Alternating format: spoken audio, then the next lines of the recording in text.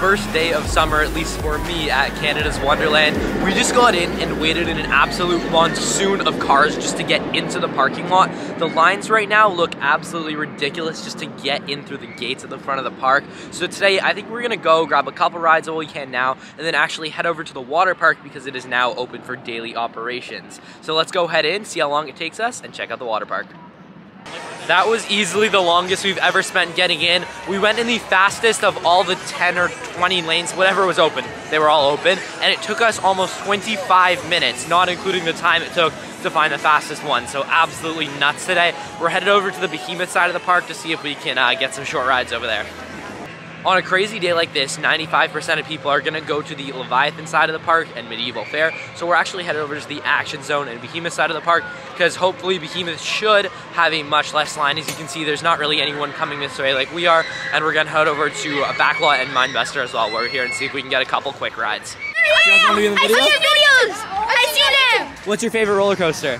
Uh, probably. He's only Leviathan. been on Vortex. Yeah. Leviathan? But Vortex? Leviathan. I'm gonna. I want to go on it. I've today. seen you do it yeah, yeah, Yeah. yeah. My theories do look like they are correct because Behemoth just has a little bit more than a stairway right now. It's not into the queues or anything, so hopefully this will be a quick wait.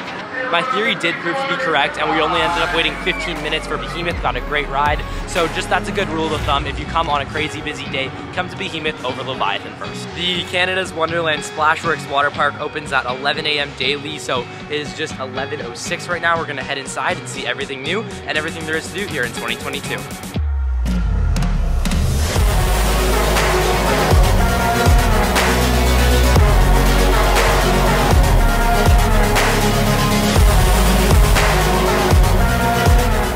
This water park is dead right now. There's probably three or four other people in the whole park right now, and no one really knows. It's kind of this little hidden gem so far. I guess people don't assume that it's open weekdays yet, but it is dead, and I'm super excited to check out all the water slides today.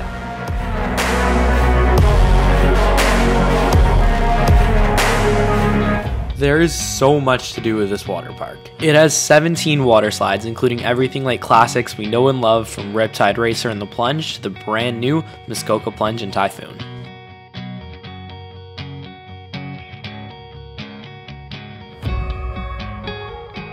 It's now around 12:30 and the lines have probably doubled since we got here, but they're still super reasonable. So I think the number one advice is definitely come for 11 a.m. right when the water park opens.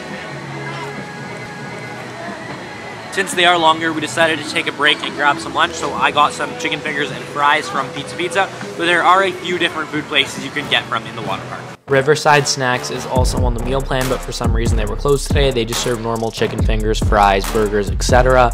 Pizza Pizza, which I ate from, is on the meal plan, so that's why hence there's a bit of a line there. And there is also a Subway if you would like in the water park. It's now closer to 1.30 and the lines have actually tripled in the last hour and a half. It's getting kind of insane. I really thought all day today was going to be dead, but I guess it really is true that you just got to get here at 11 a.m. when they open and get as many rides as you can in before everyone starts coming closer to 1 o'clock. So just make sure you get those rides in early and don't come after 1 o'clock if you plan to get a ton.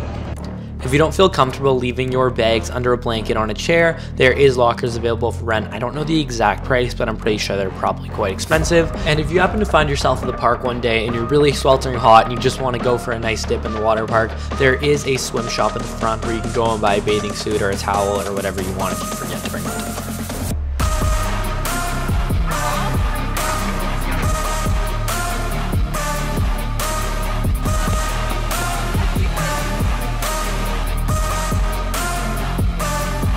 We left the water park just after 2 o'clock. We came out back into the midway and oh my gosh, the first thing we see is Yukon Striker fully filled through all three tents, probably over a two hour wait right now. We walked through the midways and honestly, we weren't even walking. We were just like moshing through a mosh pit. It was too busy, this park is insane, and we just had to leave.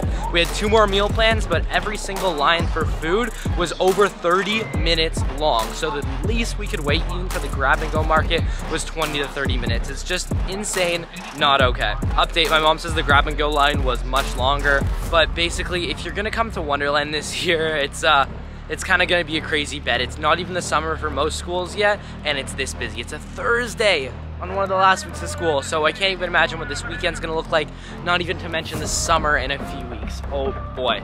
The water park was super fun though, so go check that out if you guys do have a chance. Just Make sure you hit it up at 11 a.m. right when it opens, and I wish you all luck. Thank you all so much for watching, and I'll see you in the next one. Bye.